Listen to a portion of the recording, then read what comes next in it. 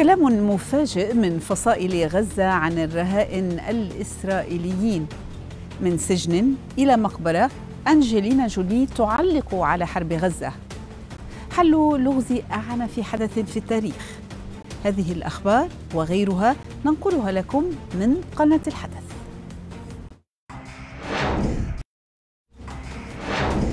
في اليوم السابع والعشرين للحرب في غزة زاد الجيش الإسرائيلي من وتيرة عملياته البرية.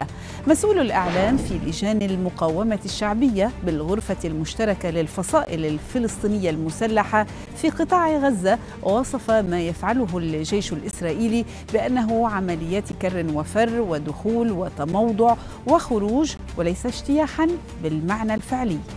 وبحسب المسؤول هو نفسه فإن الفصائل غير قادرة على حصر أعداد الرهائن بسبب الأوضاع الميدانية وما وصفه بتعنت الجانب الإسرائيلي.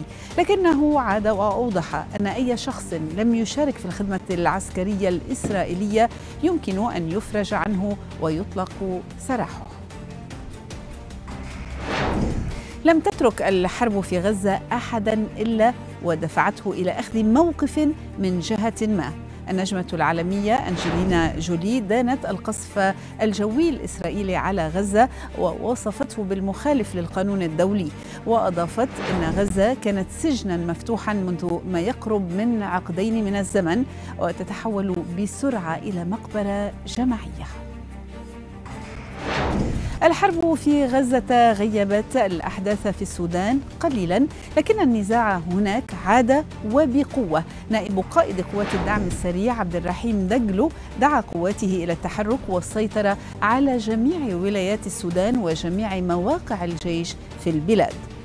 وزارة الخارجية الأمريكية دعت الطرفين المتحاورين إلى الوقف الفوري عن شن هجمات أخرى في الفاشر والمناطق المحيطة بها للوفاء بالتزاماتهما بموجب القانون الإنساني الدولي فيما يتعلق بالمدنيين. عرضت مجموعة من العلماء نظرية جديدة قد تحل لغزين يتعلق أحدهما يدور كل يوم حول كوكب الأرض والآخر قد يكون موجودا في بطنها. وبحسب الأبحاث الجديدة فإن الكوكب ثيا الذي اصطدم بالأرض بسرعة 36 ألف كيلو متر بالساعة في أعنف حدث بالتاريخ. بقايا الاصطدام ظلت مجهولة المكان. وهذه القطع الصخرية المنصهرة والتي يبلغ حجمها عشرات عدة من الكيلومترات بردت وتجمدت ونزلت إلى حدود وشاح الأرض ونواتها. وساعدها في ذلك وجود نسبة من أكسيد الحديد أكبر من تلك الموجودة في البيئة الأرضية ما جعلها